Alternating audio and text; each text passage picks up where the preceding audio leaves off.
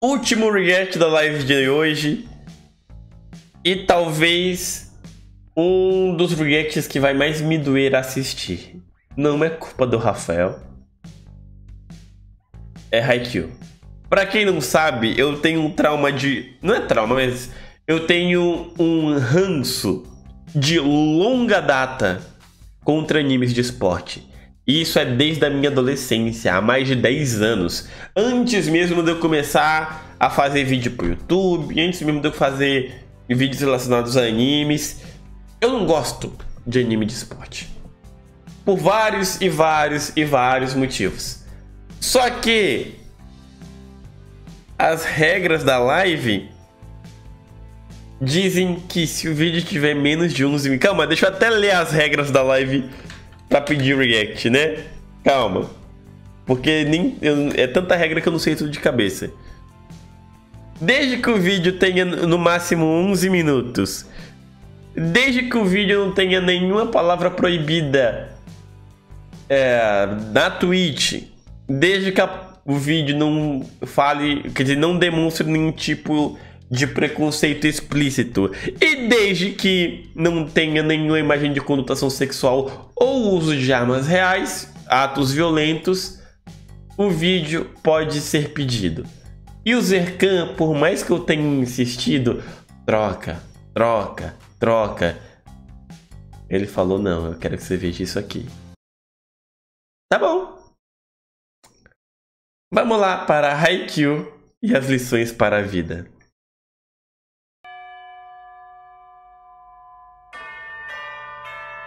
Aí não vem com esse negócio de ai, o Moreno vai tomar spoiler. Com todo respeito, eu tô um pouco me fudendo pra esse poder de Haikyuu. psicólogo e a única disciplina que dura é a autodisciplina. Hoje iniciamos as reflexões sobre o anime de Haikyuu. Tem spoilers bem minúsculos do anime. Quem não viu pode ver esse vídeo tranquilamente. Vamos lá. Haikyuu foi o primeiro anime de esporte que eu vi por completo, de um esporte que eu não sou muito... Pera, não tem tanto spoiler? Porra, Rafael!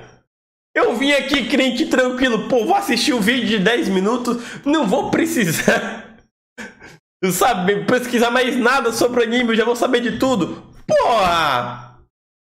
Podia ter falado mais, podia ter contado mais de spoiler da, da, da, história. Esse vídeo tranquilamente. Vamos lá. Haikyuu foi o primeiro anime de esporte que eu vi por completo, de um esporte que eu não sou muito bom em jogar, mas eu gosto bastante de assistir. Além de eu ser um grande fã do Bernardinho, o técnico da seleção brasileira multicampeão. O esporte para mim é algo incrível, é uma metáfora da vida. No esporte não existem unanimidades. Uma hora você ganha, uma hora você perde e sempre vai existir alguém melhor do que você. Aí... Mentira, não existe.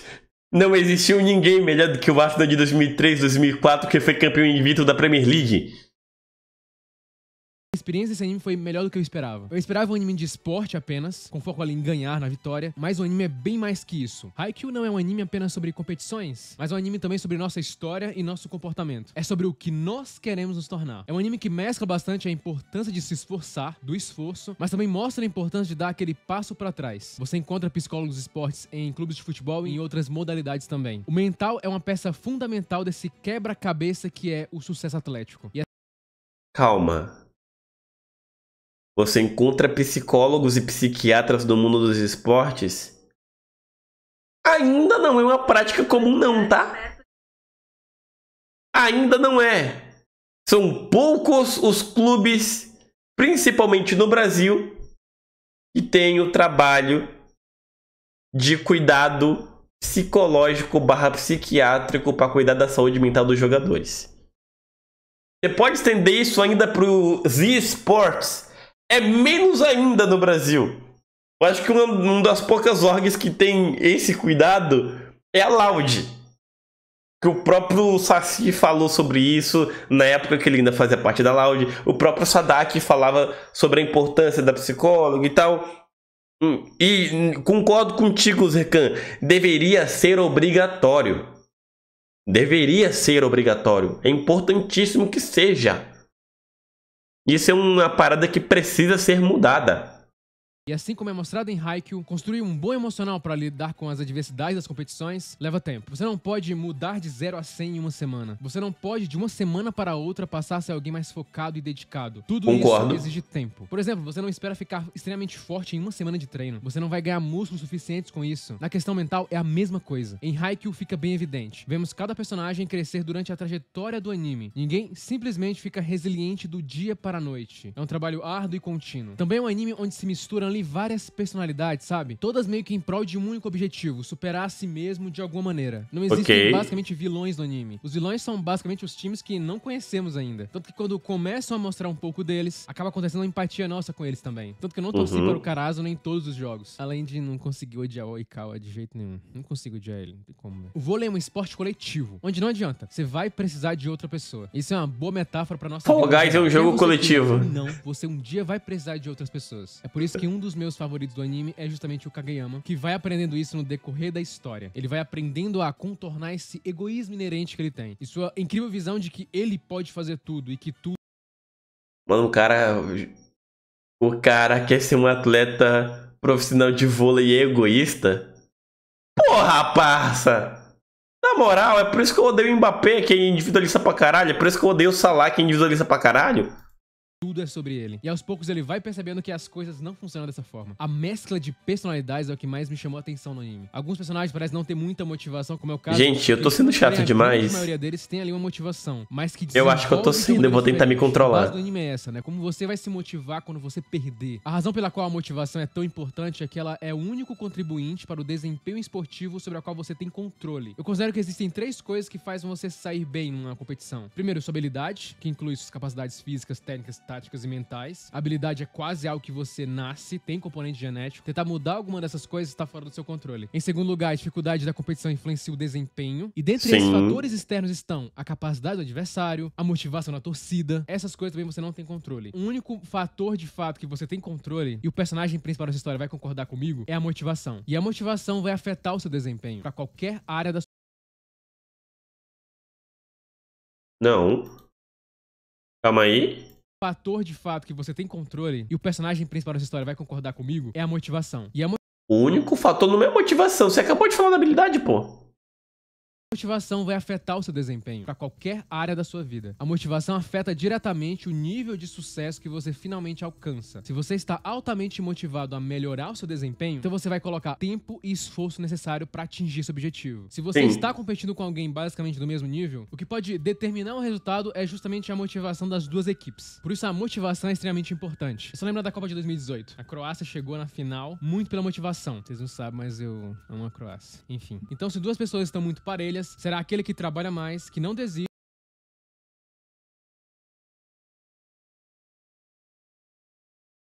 Você ainda ama a Croácia, Rafael?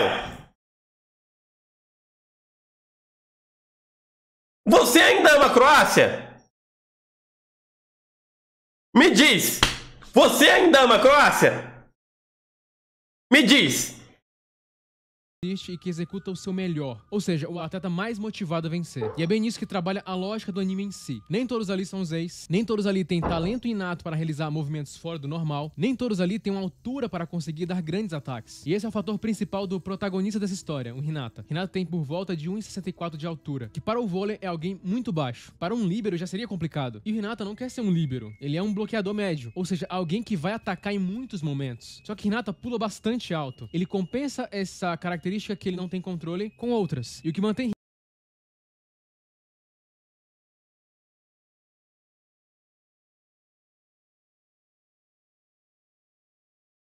Ele postou esse vídeo dia 5 de dezembro. Dia 5. Mas. O cara tem 1,64 e quer ser bloqueador. Deixa eu até conferir aqui, rapidinho. Rapidinho. Porque eu não gosto de falar asneira.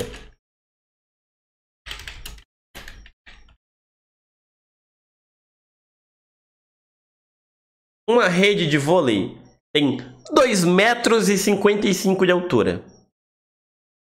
O cara tem 1,64m. Aí vocês vêm aqui na live e falam, ai Moreno, mas Haikyuu não tem super poder. Isso é o que, porra? Ghost Zone, obrigado pelo resub de seis meses. O cara tem 1,64. A rede tem 2,55. Não tem superpoder na porra do anime? Isso é loucura. Hinata firme em seu objetivo é simplesmente sua motivação também, pois em várias ocasiões muitas pessoas vão desmotivar ele no anime. Às vezes de forma até indireta, por dizerem apenas a altura dele, falarem basicamente o óbvio. Muitos ali vão dizer que a altura dele não é compatível a esse esporte, e apenas esse fator já poderia desmotivar ele. Mas o Hinata tá acima disso. Haikyuu oh. também enfatiza o trabalho duro e a consistência, assim como a humildade de procurar aprender e lidar com possíveis falhas. Geralmente com o sucesso ou com a falta de derrotas, as pessoas tendem a fazer a mesma coisa. Geralmente quando falhamos, que somos forçados a nos adaptar e mudar. E essa não é apenas uma uhum. característica humana, mas constitui uma característica básica de como o cérebro. O pior é que eu faço isso no Fall Guys pra caralho, eu faço isso no FIFA pra caralho. Para correta. Toda vez que eu perco, eu tento me adaptar e pra evoluir. Se eles pra mudar. a resposta errada, eles eram menos propensos a repeti-la. Entende a lógica? Se um rato de laboratório não é mais recompensado por pressionar uma alavanca que havia produzido comida antes, ele fica visivelmente chateado. E à medida que seus esforços frenéticos falham, ele recolhe a todos os tipos de de reações estranhas ou novas, desde se preparar até morder a alavanca ou pular no ar. Ou seja, basicamente os mamíferos, nós, quando aprendemos que o mundo mudou, que a realidade não é mais a mesma, quando o que funcionava antes não funciona mais, é nesse momento que forçamos a mudança. E com a mudança vem o aprendizado. Vemos isso acontecer frequentemente na dinâmica do time principal do anime, o Karasuno. Que Caralho, começa altura.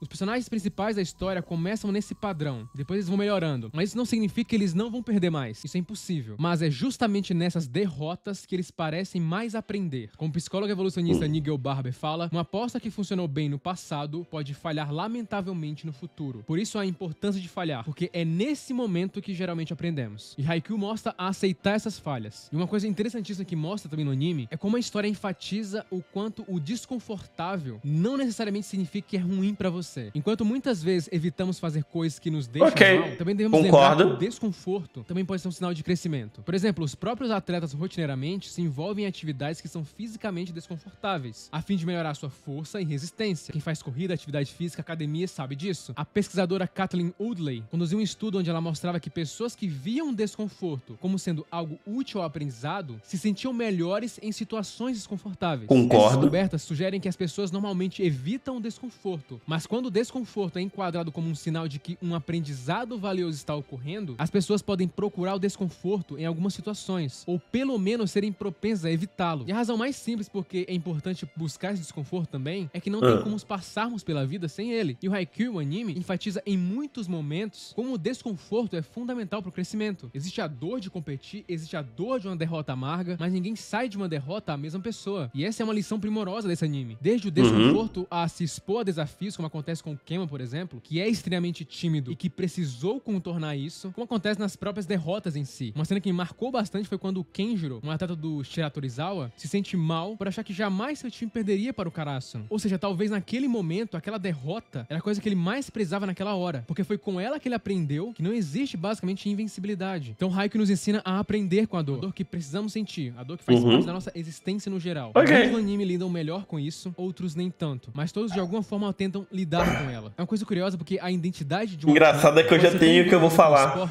para quando acabar o vídeo. Eu já sei o que eu vou falar. o seu ego e o seu senso de identidade. Por isso que em muitas situações extremas, atletas acabam tendo ansiedade, fadiga e até mesmo depressão. Ryan Holiday, em seu grande livro que eu indico a vocês, O Obstáculo é o Caminho, passa algumas lições sobre estoicismo e o esporte, inclusive. Ele fala uma frase que eu levo bastante, que tem muito a ver com esse anime. Como qualquer boa escola, aprender com o fracasso não é gratuito. A mensalidade é paga em desconforto ou perda e tendo que começar de novo. Com isso, Haikyuu, apesar de enfatizar bastante a motivação Bela frase. não desistir, também nos ensina a parar, a dar um tempo também. O anime mostra que não somos de ferro. Existiam ali substituições marcantes no decorrer do anime. E esse hábito de substituir não é simplesmente, ah, esse jogador não está rendendo, eu vou colocar outro. Não isso. Mas sim de enviar uma mensagem, uma outra mensagem. Calma, como aconteceu com Kageyama. É ensinar a dar aquela pausa na subida da escada, sabe? Porque se você for rápido demais, você vai tropeçar e vai cair. Não vai ser legal. Justo. Friedrich Nietzsche dizia que cada progresso para frente é alcançado exercendo uma resistência específica contra si mesmo. Não poderia concordar mais com isso. Isso faz muito sentido. Fazemos isso, por exemplo, confrontando nossos medos, enfrentando enfraquecendo nossas inseguranças e também derrubando velhos padrões de pensamento para assumir novos. E às vezes esses passos para trás, às vezes são verdadeiros propulsores para continuar esse avanço, para aceitar que aquele não é o momento de continuar, tendo essa visão mais à frente que sim, terão outras oportunidades no futuro. E manter esse pensamento a longo prazo faz total diferença. E o Renato aprende muito isso durante a história. Ele aprende a lidar com essa impulsividade de tentar resolver tudo naquele momento, no momento uhum. que ele tá uhum. sentindo ansioso. Renato aprende a dar aquele passo para trás antes de dar aquele passo importante para frente. Com isso, Haikyuu, ao mesmo tempo que nos mostra a importância de valorizar o suor de todo um esforço feito, mostra também o valor das lágrimas, que refletem um aprendizado profundo. A maior lição para mim de Haikyuu no geral é sobre não deixar que um momento te defina por completo. Quase sempre existe a próxima oportunidade de melhorar, de alcançar determinado objetivo. E nesse mês eu irei explorar bastante vários personagens desse anime que estão nessa jornada em busca de seu objetivo final e também de como eles lidaram com o processo. Já que mais importante do que aproveitar o resultado final é a satisfação de ter aproveitado o processo. Viver apenas focado no objetivo final é loucura, pois a maior parte da sua vida é feita de jornadas e não de finais.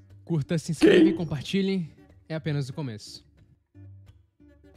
Chat, tenho algumas coisinhas para falar sobre. Não sobre o anime em si, mas sobre esse vídeo e englobando o anime. Tá? Pra quem não sabe, meus dois maiores problemas com animes e esporte. Primeiramente, a famosa pausa dramática em que, em momento decisivo, na decisão, na tensão, tudo fica em câmera lenta e a gente tem a porra de um flashback de 10 minutos onde o cara revive a vida dele inteira. Lembra dos maus momentos, lembra da mãe doente, lembra que ele perdeu o pai atropelado por um caminhão e o pai foi parar no mundo de secar e os caralho a quatro.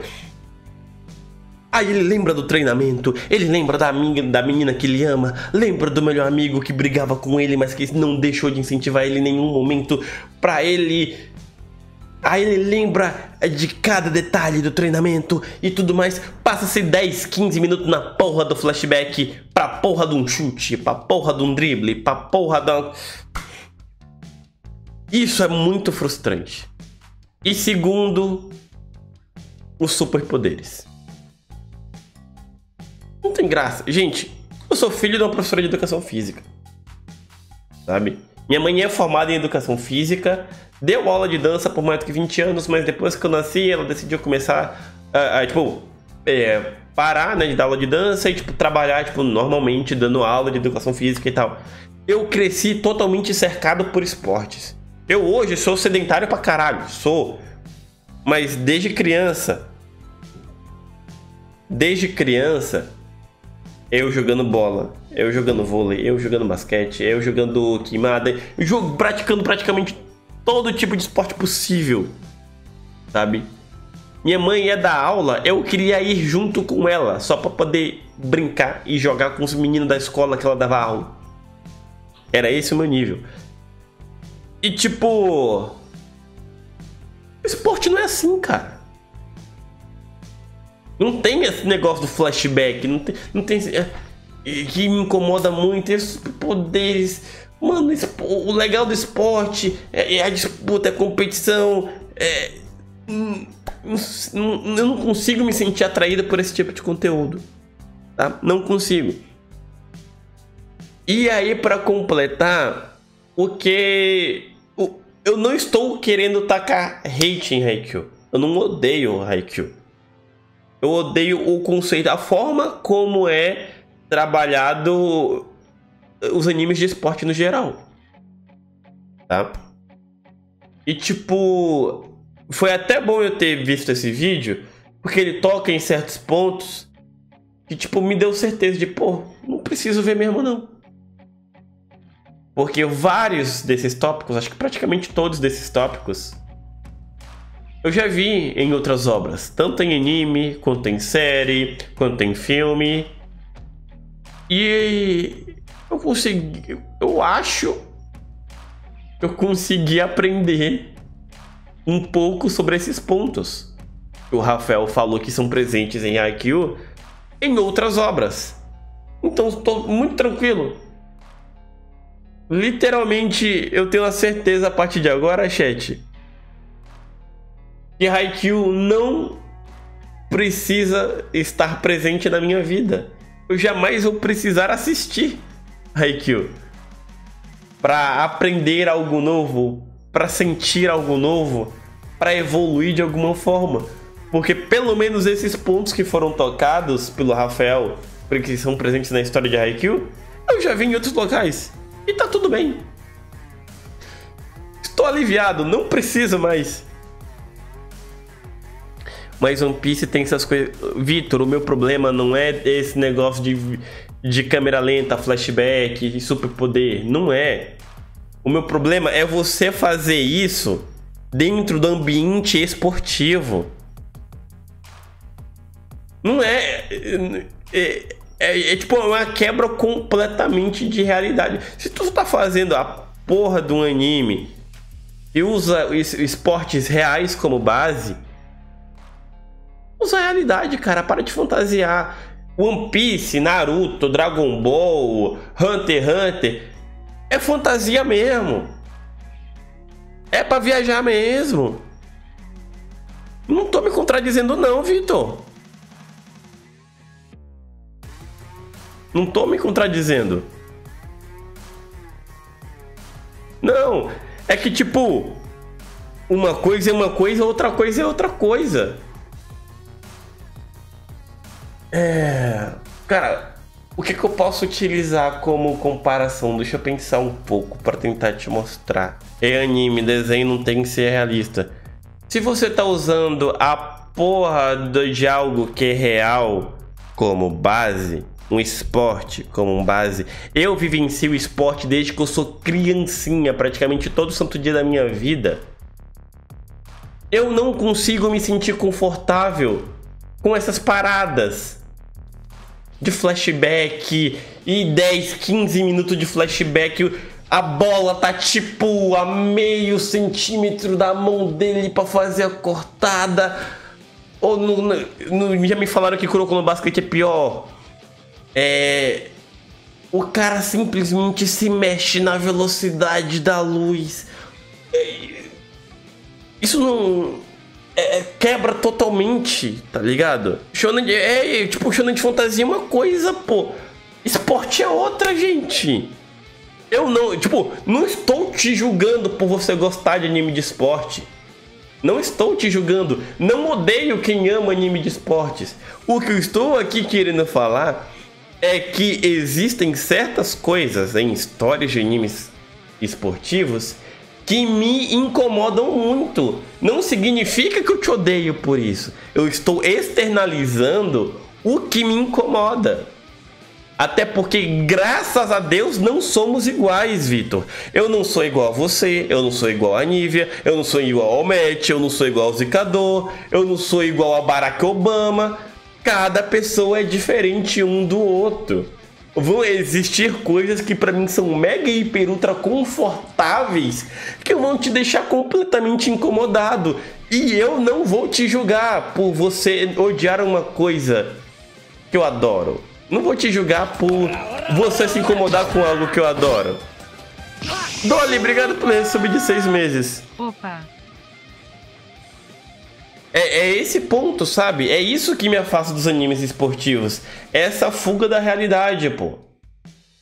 Porque dá para trabalhar esses assuntos, como o próprio Rafael falou, tá ligado?